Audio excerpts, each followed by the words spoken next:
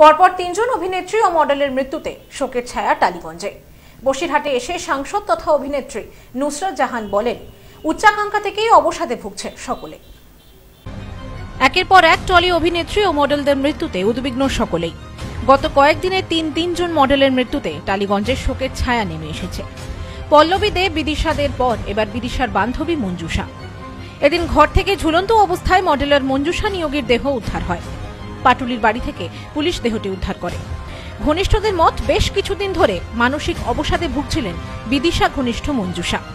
দেহটি উদ্ধার করে হাসপাতালে নিয়ে গেলে চিকিৎসকরা মৃত বলে ঘোষণা করেন। এদিন মঞ্জুষার মা জানান, আগের দিন ফোন করে মেয়ে বলেছিল, আমি বিদিশার কাছে যাব। তবে কি কারণে এই ঘটনা তা স্পষ্ট নয়। দিদিজার মতো কালকে তোমার বাড়িতে সাংবাদিকরা আসবে। কে এই মেয়ে বইলে যে- যে মেয়ে এরম বলে, সে কি এরম করে?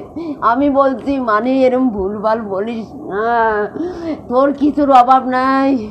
আমি আর একটা ফ্ল্যাট দেখছি। তোর আলাদা থাকবি। তোর যদি স্বামী ঘর না করতে, ইচ্ছে করে আলাদা থাকিস, আমি আলাদা রাখব। সুইসাইড করবি না। ও বিদিশার কাছে যাবে।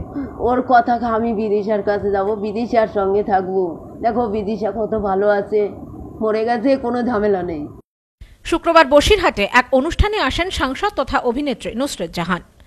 পরপর অভিনেত্রী ও মডেলারদের মৃত্যু প্রসঙ্গে এদিন সাংসদ বলেন কয়েকদিনের মধ্যে অভিনেত্রী ও মডেলারদের মৃত্যু খুবই দুঃখজনক। এই ঘটনা যেন আর না ঘটে সেই প্রার্থনা করি। এই এই বিষয়ে আমার কিছু বলার নেই মানে মানুষের মৃত্যু আমার মনে হয় ভগবানের হাতে মৃত্যু এবং জীবন থাকে সেটা নিজের হাতে না নেওয়াটাই বেটার ফার্স্ট পাবেন না যার জীবনে প্রবলেম নেই। দেখুন আমরা সকলেই দাঁড়িয়ে আছি। একটা মানুষ পাবেন না যার জীবনে প্রবলেম থাকে না। সে প্রবলেমটাকে আমরা কি করে হ্যান্ডেল করব এবং কি করে সেটাকে আমরা ওভারকাম করব সেটা সম্পূর্ণটা আমাদের উপরে হয়। তো তাই বলব যে কিন্তু I I do not and I will never support something like নিজের জীবন নিজের হাতে নিয়ে নেওয়া। পাশাপাশি সাংসদের মত, উচ্চাকাঙ্ক্ষা ও বিলাসিতার শিখরে পৌঁছাতে না পেরে মানসিক যন্ত্রণা থেকে আত্মহত্যার পথ বেছে নিচ্ছেন অনেকেই। এটা খুবই দুঃখের। কিছুদিন আগে এলাকায় সাংসদের নামে নিখোঁজের পোস্টার ঘিরে চাঞ্চল্য দেখা দেয়। এ প্রসঙ্গে সাংসদ নুসরাত বলেন, সাতটি বিধানসভায় প্রতিদিনই কিছু না কিছু কাজ করতে হয়। ছবি লাগিয়ে কেউ যদি লাভ পায়, পাক। যারা নিখোঁজের পোস্টার লাগিয়েছে, এখন তাদেরই খোঁজ পাওয়া যাচ্ছে না। আমার চেহারা দিয়ে এবং যা তা যদি এভাবে প্রচার করে, যদি আমাকে এইভাবে বিক্রি করে, আমার মুখ বিক্রি করে যদি তার উন্নতি হয়, তাহলে তাতে আমার কোনো আপত্তি নেই, সে ভালো থাকুক। আর সে নিখোঁজ পোস্টার যে করেছিল, সে নিজেই নিখোঁজ।